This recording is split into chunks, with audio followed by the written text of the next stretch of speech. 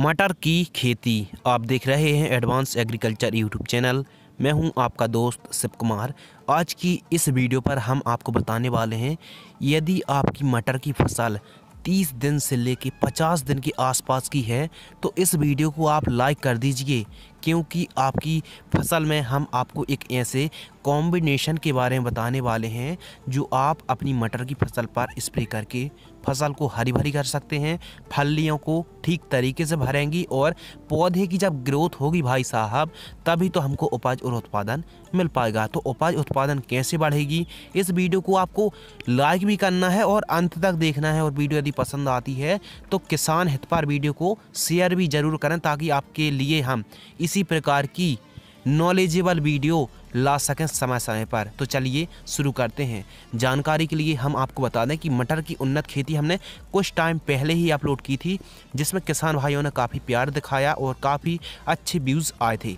इस वीडियो पर हम आपको बताएँगे कि यदि आपकी मटर की फ़सल तीस दिन से लेकर पचास दिन के बीच की है तो आपको क्या स्प्रे करना चाहिए स्प्रे हम स्पेशल बता रहे हैं ताकि आपकी फ़सल पर उपज, उत्पादन और फलियों का साइज़ बढ़ जाए, जिससे हमारे किसान भाइयों को बेहतर आमदनी हो।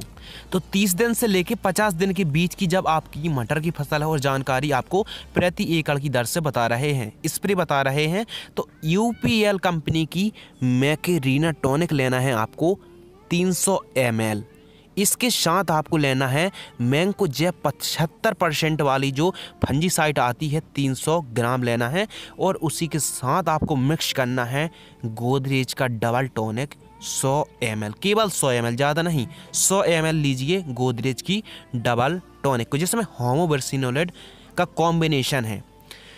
इसके अलावा इन सभी को मिक्स करके आपको 150 लीटर पानी में मिक्स करके प्रति एकड़ की दर से स्प्रे कर दीजिए।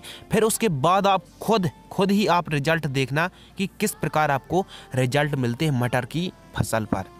देखिए किसान भाइयों, आपकी मटर की फ़सल हरी भरी रहेगी, पहली बात। सेकंड बात, मटर की जो फलियाँ होती हैं, ठीक तरीके से दाने भरेंगे और दानों में वज़न बढ़ जाएगा। पौधे की ग्रोथ भी ठीक तरीके से होगी और फल और फूलों की संख्या में भी काफ़ी ज़्यादा वृद्धि देखने के लिए मिलेगी। उपज और उत्पादन में काफ़ी ज़्यादा वृद्धि देखने के लिए मिलेगी।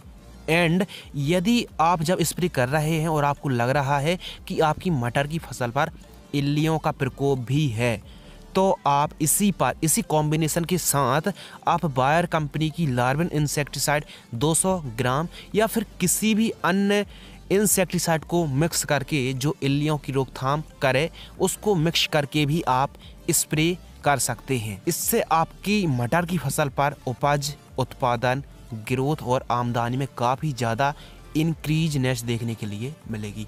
यदि आपने मटर की उन्नत खेती की संपूर्ण जानकारी नहीं देखी है तो हम लिंक डिस्क्रिप्शन में दे देंगे। आप उस वीडियो को ज़रूर देखें कि बुआई की जो मेथड होती है, खेत तैयार की विधि होती है, बीज उपचार उन्नत किस्में तो संपूर्ण जानकारी आपको संपूर्ण जानकारी उस ए टू जेड जो वीडियो हमने बनाई थी उस पर आपको मिल जाएगी। लिंक डिस्क्रिप्शन में है, उस वीडियो को भी आप देखना बिल्कुल भी ना भूलें। यदि आपको यह वीडियो पसंद आती है तो इंस्टाग्राम पर आप हमें फॉलो कर सकते हैं। धन्यवाद।